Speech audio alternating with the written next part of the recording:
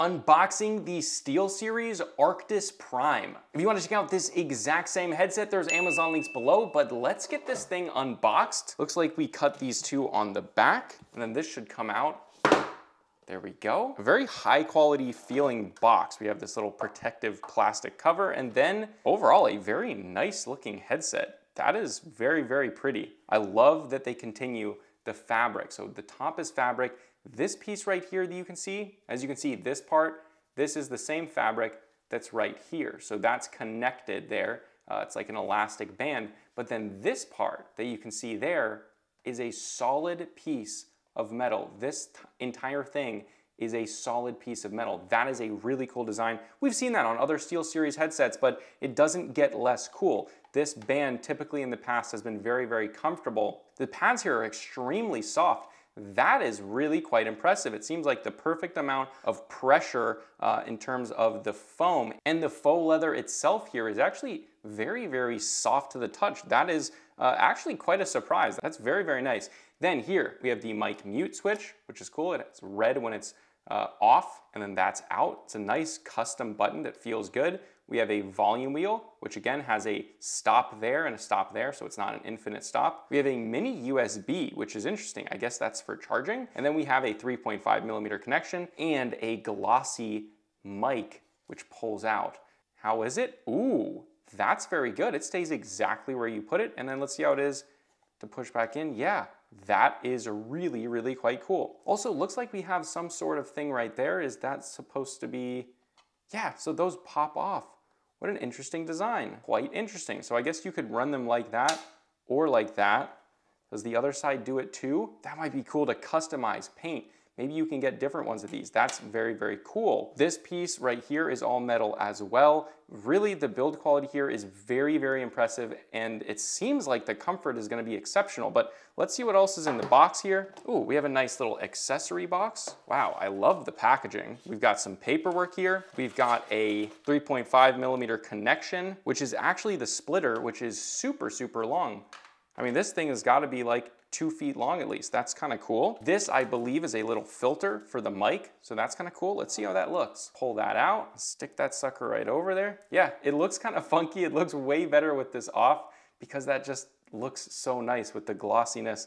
And I love that it has that accent when it's inside of it. it looks really cool. Then also in the box, we have that mini USB to 3.5 millimeter connection. And look at there, we have gloss on the end right here.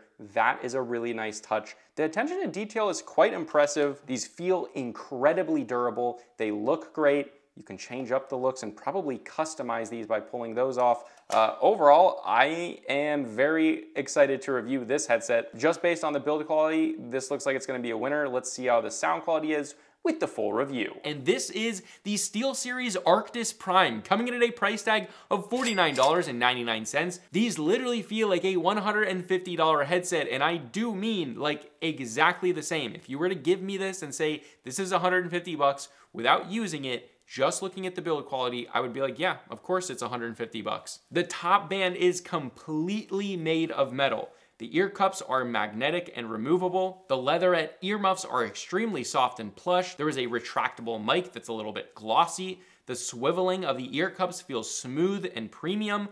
And I could literally just keep going on and on, but this is a masterpiece of build quality for this $50 price point. It's honestly freaking wild. Not just is the build quality good, but it's also extraordinarily durable because of the very high quality materials that they use. Also, the fit and finish is fantastic. No creaks, no rattles. It does not feel cheap whatsoever. All right, but that's all good and great, but how is the sound quality? Well, sound quality on these is definitely tuned more for gaming vocals and music aren't as emphasized and can be a bit muddy, but the mids are clear and well balanced, and you do get some more bass. In game, these definitely more come to life. Higher frequencies like bullets flying past you are very crisp, Footsteps are easily decipherable and explosions sound better being more full due to that bass. For controls, on the right side is a mic mute button, volume wheel, mini USB, 3.5 millimeter connection, and then your retractable mic. For connectivity, this is wired, but it is detachable, so that's really nice. Again, feels like a more premium headset because of that. And this uses a detachable mini USB to 3.5 millimeter connection or just a 3.5 millimeter connection, so that's up to you. Now let's talk comfort. The build quality was great, so is the comfort gonna be there? And yes, it's great. I love the SteelSeries top fabric band. It makes me feel like the headset is kind of levitating. The earmuffs are soft and plush, but do not heat up over time. The only note I would say is I do get a little bit more pressure by my temples, but that's really a slight thing. And part of this is probably due to the increased weight because of the higher grade of materials. Now, as far as mic quality, the mic here is again great. It's a bit thin and airy, but no one will have a problem understanding you. Take a listen for yourself. This is the mic test of the SteelSeries Arctis Primes.